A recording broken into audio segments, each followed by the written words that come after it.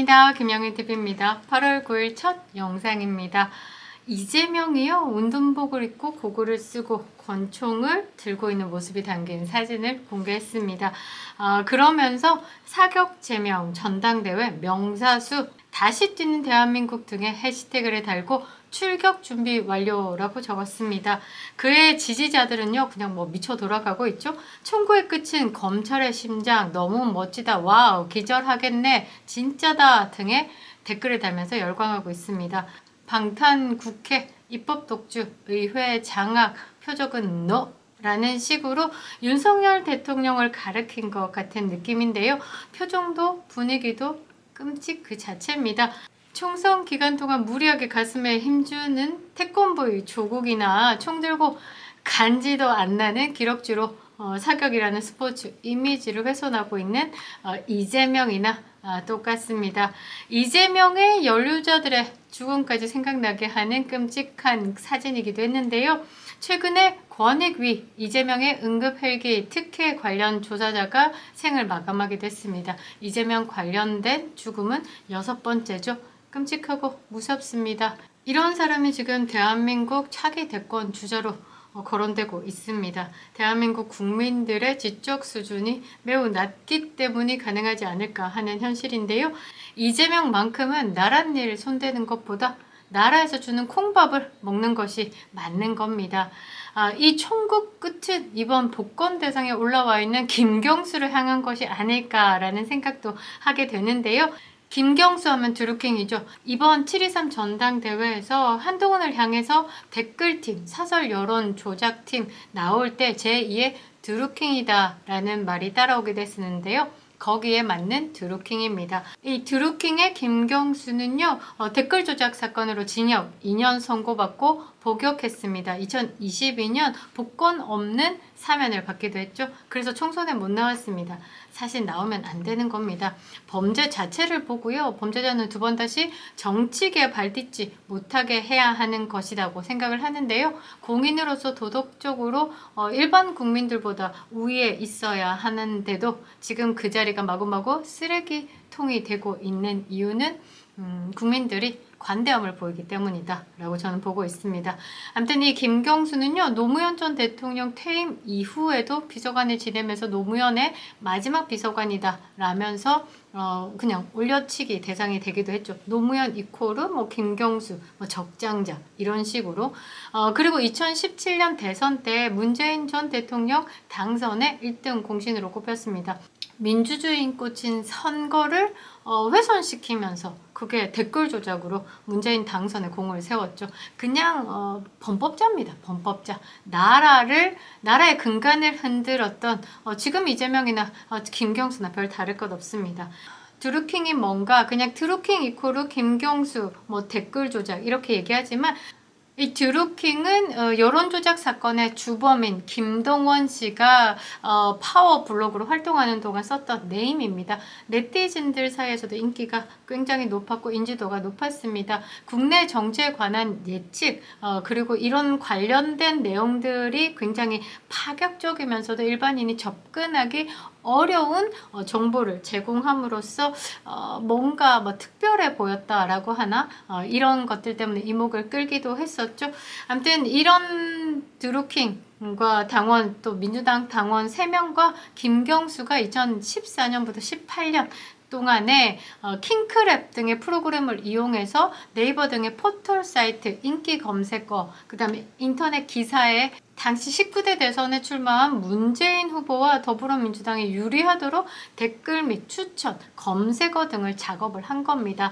그리고 타 후보에 대한 비방 또 여론 조성을 하면서 어, 문제를 일으킨 것. 이번에 그 이준석의 어, 상대자를 낙선시킬 목적으로 명예훼손을 한 것, 선거법 위반이죠. 그것을 총망라했다라고 보시면 됩니다. 아, 드루킹 일당은요, 여론 조작을 해준 대가로 대선 이후에 문재인이 대통령이 당선된 이후에 김경수에게 오사카 총영사 자리를 청탁했으나 김경수가 안 된다라고 이야기를 하니까 반대로 이제 문재인을 어, 비방하기 나섰죠. 어, 그리고 더불어민주당이 이런 댓글 조작 사건을 해왔다라는 것을 경찰에 고발하면서 체포되고 정황이 드러나고 어, 김경수는 깜빵에 간 것입니다. 아니 이 정도로 댓글로 조작하면서 여론 팀을 꾸렸다 이래서 대통령이 당선됐다라면 처음부터 다다시 했었어야 되는 것이 아닌가 하는데요. 일단 권력은 잡고 보자라는 식이죠. 문재인 정부 시절에 2018년 경남지사에 당선되면서 차기 대권 주자로서 유력하게 떠오르기도 했었는데요. 어, 드루킹 사건으로 한 방에 무너지면서 어, 사라졌습니다. 원래 김경수 이 복권이 8월 6일까지는 제외되는 쪽으로 가닥을 잡은 듯 했는데요. 지금 며칠 상간의 흐름이 많이 바뀌고 있습니다. 복권이 된다면 피선거권 회복돼서 2026년 지방선거, 2027년 대선까지 출마가 가능해지는 겁니다. 김경수 제 개인적인 생각으로는요, 여론을 조작해서 선거 결과를 주작하려고 했던 그런 민주주의의 시스템 파괴범을 사면도 모자라서 복권을 해주는 것은 맞지 않다라고 보고 있습니다. 아마 이재명보다는 김경수가 더 나은 카드다 아, 또는 개딸당의 비정상화를 정상화하겠다 꾀하고 김경수를 어, 복권하겠다라고 판단을 한 것이라고 하면 저는 오판이라고 생각을 합니다. 좌쪽 인사들이요 생긴 것만 다르고 그 방법이 다를 뿐 어, 대가리 속에는 똑같습니다. 독인 개긴입니다.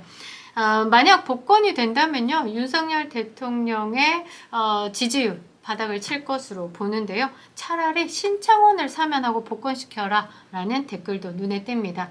암튼 그 지금 김경수 어, 전 경남지사 두루킹 으로 징역 2년을 선고받고 복역하고 나온 이 김경수가 8.15 광복절 사면 대상 복권될 것으로 전해지면서 야권의 권력 지형에도 변화가 생길 가능성이 있다라면서 웅성웅성합니다.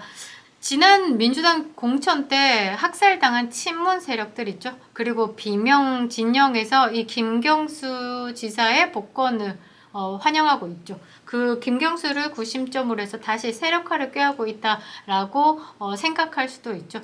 이재명의 당으로 변한 이 민주당 1극 어, 체제의 균열을 일으킬 수 있다라고 판단을 한 것으로 보는데요. 어, 사실상 그동안에 김경수가 정치 활동이 막혀 있었기 때문에 흩어진 세력들 줍줍줍 일으킨다는 건 상당한 시간이 필요할 것으로 보입니다. 불가능한 일은 아니지만 가능하기까진 또 힘듦이 있겠죠. 이재명이 본인의 사법 리스크의 방어를 또 해야 되는 부분과 내부의 어, 또 반응을 해야 되는 부분 이재명의 정치 계산법이 조금 더 복잡해질 것으로 보이는데요.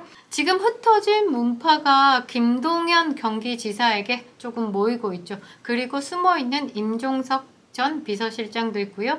어, 잔인하게 공천 학살을 당했던 박용진 전 의원도 있습니다.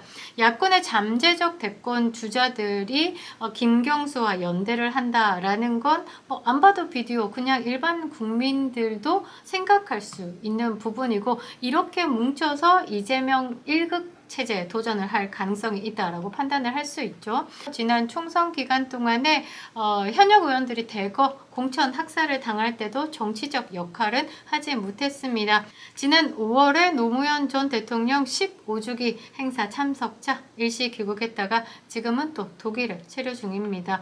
연말쯤에 돌아온다라고 알고 있으나 만일에 복권이 된다면 조금 더 앞당겨지겠죠.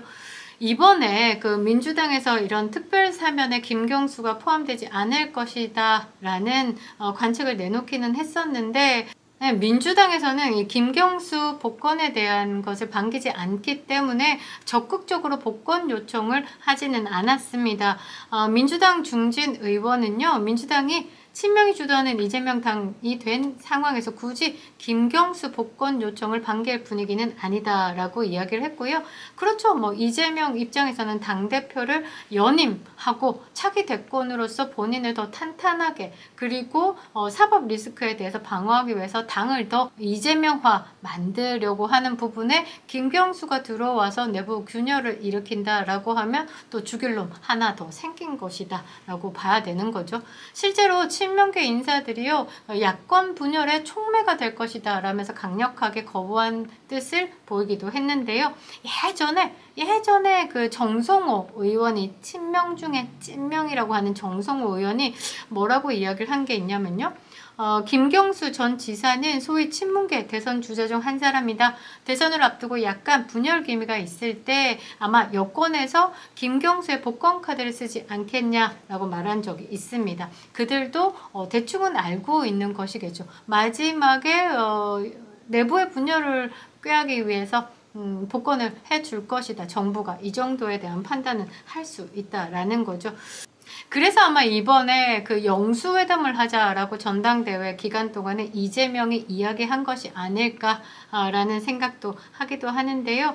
아, 민주당이 이번에 4.10 총선에서 압승하면서 이 김경수 복권은 쑥 들어간 듯 보이는데요. 아, 윤석열 대통령 입장에서도 민주당이 이 앞으로는 영수회담 하자라고 하면서 뒤에로는 뭐 탄핵몰이를 꾸준하게 하고 있는 것에 어, 뭔가 하나의 카드는 던질 필요가 있다. 견제 카드. 그래서 김경수에 대한 복권을 생각한 것이다. 아, 라고 볼 수 있고 이것 때문에 아마 민주당 내부에서도 많은 분위기가 변할 것이다 보고 있는데요. 고민정이 이렇게 말했습니다. 친문계다라고 분류가 되고 있는 고민정이죠.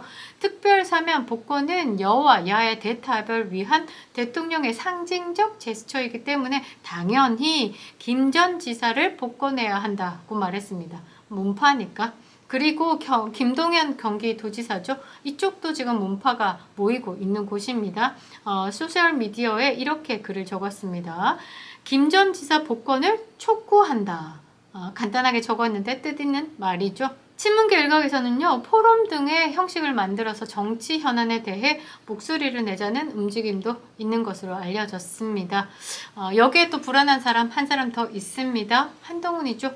문파들이요 이재명의 일극 체제에 몸을 숨긴 곳이 조국 혁신당 쪽에 몸을 기대기도 했고요. 또 다른 쪽은 어디로 들어왔냐면 어, 한동훈의 지지자로 둔갑해서 들어온 한딸들입니다. 문파의 문꿀 오소리가 한동훈의 지지자들의 중심입니다. 지금 여의도 연구원에도 들어가 있죠. 김경수의 복권으로 세력이 응집할 것이다. 라고 보면 흩어져 있는 사람들이 모이겠죠. 그 말은 조국에서도 빠지고 한 딸에게도 대거 이탈이 가능하다라는 겁니다. 이재명뿐만 아니라 한동훈도 아프다는 거죠. 어, 이게 윤 대통령의 일타 쌍피가 아닌가 싶은데요. 그 대신 윤석열 대통령이 김경수를 누를 만한 강력한 대권 주자를 키워야 하는 동시 작업이 필요할 때입니다. 전과자 대 범죄자의 대결 볼만하겠습니다. 김영일 TV였습니다.